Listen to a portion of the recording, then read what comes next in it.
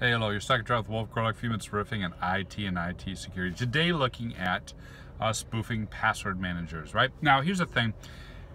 Every time we've got a control, guys get a little bit better, right? With no Batman, there's no Joker.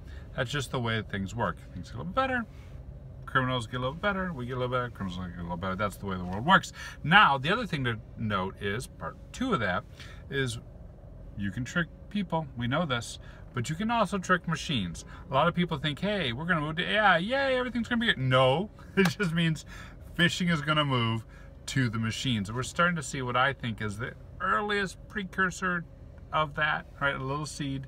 So the tip for you is this, check out the recent research on Android and password managers and how uh, attackers, researchers, were able to spoof and get Android password managers to pass those creds on in by looking at various properties of the application and spoofing those, duplicating those.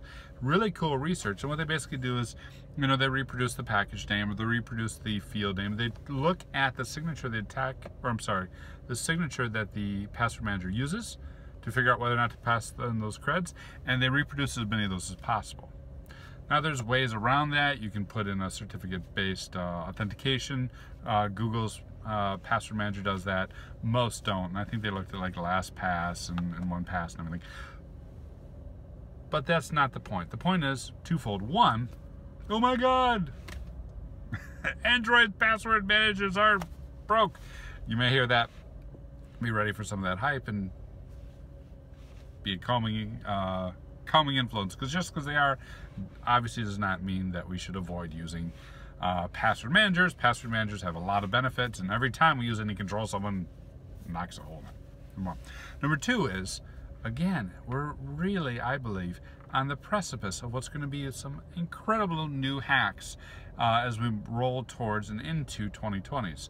Because all the sort of phishing attacks that we used to do on people, as AI comes out and as pattern matching comes out, we're going to see a lot of those same attacks happening, taking advantage of those AIs. Because as they do the matching, just like people would, you can spoof them, you can trick them.